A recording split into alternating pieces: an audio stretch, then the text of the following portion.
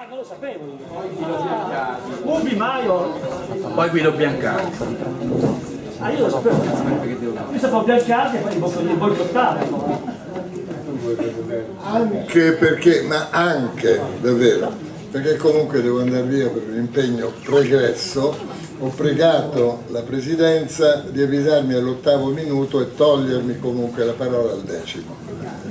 Avevo sentito un'urgenza perché va celebrata, eh, visto che, mi hanno detto a luna di notte, eh, il nostro Di Leo è stato invitato dal segretario di Radicali Italiani, io sento l'urgenza perché mi accade, mi è accaduto raramente negli ultimi 55-60 anni, perché all'università mi è accaduto magari, che il mio incaponimento di occuparmi seriamente, credo, di credenti, di chiesa, di Cesare, di Stato, sempre da liberale, credo, magari anche perché poi ci sono stati, per esempio, vi cito ogni tanto, per, come provocazione,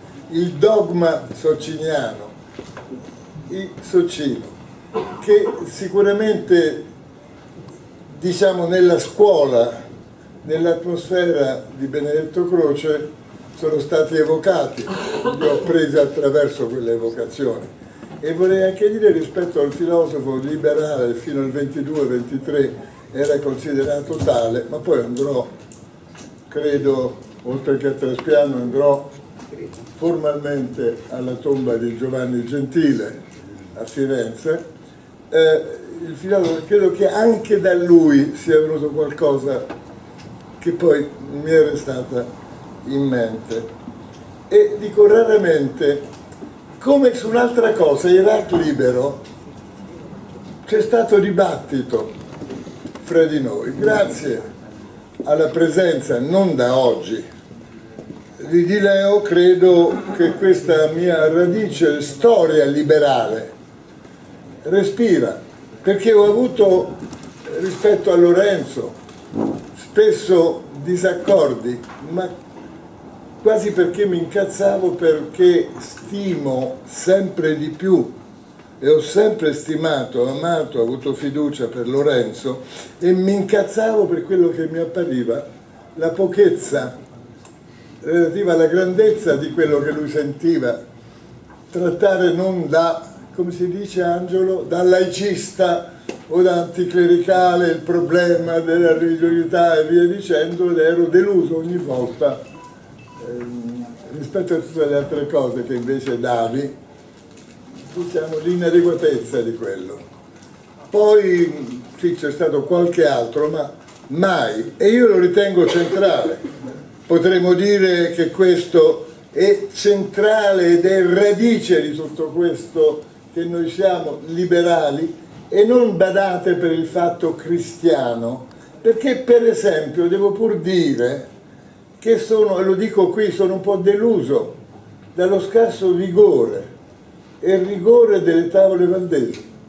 Io voglio dire li adoro, se possibile, ma proprio mi, mi trovo a dire, ma caspita, questo fatto della simonia, che era un po' alla base anche delle ispirazioni della riforma, devo io dire simonia, vabbè, e, e c'è stato Angelo, al quale però voglio dire una, una cosa. Oggi mi convince meno le letture eh, che mi offri, perché ti seguo sempre su questo piano. Eh? Le letture che? Sì, che ci offri. Sì.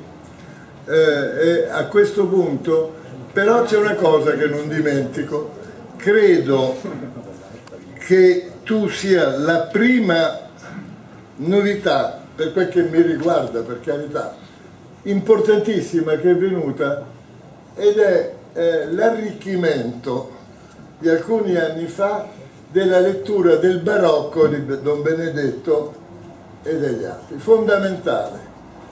Eh, l'ho ritenuto eh, ancora una, ma davvero lì Angelo credo che non solo per me, ma eh, credo anche per più interni alla storia anticlericale da una parte o alla storia clericale dall'altra, in realtà eh, Angelo dobbiamo un passo avanti, quindi nella lettura di un'epoca storica, delle sue motivazioni, di quella estetica, della lettura estetica importante di Don Benedetto. Quindi qui vorrei semplicemente dire, ringrazio molto del contributo al partito, e non è la prima volta, che eh, di Leo dà eh, di ricchezza per me, di radici autentiche. Io ho sentito parlare, ho letto praticamente della esistenza importante di Newton e di Lord Acton eh, da Panfilo Gentile nel 48, avevo 18 anni, perché la religiosità, perché poi ho continuato, il Tocqueville ci ha aggiunto alcune informazioni di recente. Allora, questo sottolineare, vogliamo un piccolo esempio? È stato evocato io ho espresso la mia solidarietà ai poliziotti che questo Cesare, perché c'è questo Cesare, poi questo Cesare è il nome del suo presidente, ma anche del, dello Stato italiano, non, non intendo personalizzare troppo la questione. Lì cosa succede? Un Agnus Dei, perché tranne nell'Ecclesiaste, no? Eh, eh, si chiama Coelet adesso, eh? Sì, ma eh, tranne al, allora di un altro testo ritenuto apocrifo, quindi non lo c'è, non ritenuto, con sospetto di essere apocrifo, c'è eh, un dato di pedofilia, l'Agnus Dei, il bambino uguale, chi tollit per catamundi. No, e io dico francamente che su questo eh, non sono d'accordo. Come non sono d'accordo su tanti di noi che usano molto gli argomenti contro la pedofilia clericale, non so perché non l'altra, mai quella familiare, mai quella, no, vabbè, comunque, mai, no? E allora su questo davvero il bambino i poliziotti sono padri di famiglia sicuramente, loro hanno sentito che Cesare, lo sanno, sono ligi, non sono ligi, ma sono fedeli, sono servitori dello Stato e ogni, spesso lo Stato li pone dinanzi a momenti atroci perché, come dicono quelli del SIDIP, eh, noi siamo, eh, la nostra fierezza è di essere servitori dello Stato, ma il nostro dramma è di doverlo essere contro le leggi dello Stato, contro tutto quello che è la, il diritto. No? E sono in questo quelli che vendicano la categoria degli Elfman, la vendicano, perché oggi è... Molto. Sì è un termine di grande, e ho presentato, appunto, possono, questi si trovano con un bambino, si trovano con un bambino che sa quello che vuole, non vuole il padre e vuole restare con la madre. E reagisce come una persona grande, no, no, no, è una violenza, mi rifiuto, io. E questo c'è il padre che padre, e poveretto lo possa capire pure lui, ma capisco di più i poliziotti padre, che cazzo facciamo? Questo cosa dobbiamo portarlo, l'altro, eccetera, perché appunto tutte le letture, e io insisto, questa è una cosa che un po' con i compagni a volte, eh, non del fuori, con quelli eravamo d'accordo, ma attualmente i successori, eh, ritengo che non capiscono che la sessuofobia è il, diciamo, il male all'interno della quale poi c'è le sue forme varie di omofobia. E su questo sono, come tempi dell'anno anticlericale, eh, con qualcuno che poi gli si rimprovera gli orgoni, ma forse non si rimprovereranno. Assolutamente. Quindi ho terminato solo per dire questo è il problema del dibattito. Perché se tocco il problema dei credenti, incontro le donne vecchie di Michelino, capito dove sta il consigliere comunale di no? Eh, ah ecco, sì, eh, di Torino.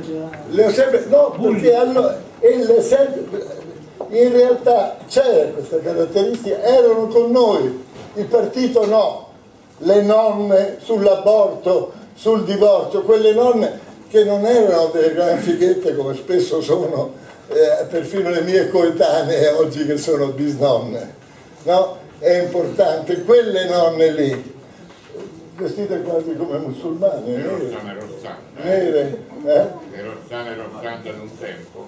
Adesso del divorzio.